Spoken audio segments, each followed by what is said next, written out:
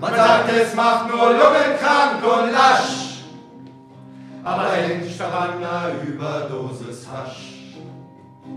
Man sagt, es macht nur lungenkrank und lasch, aber hängt daran eine Überdosis Hasch. Auch wir fordern Hanf legal am 10. August 13 Uhr am Bahnhof Zoo. Meine Wahl Hanf legal!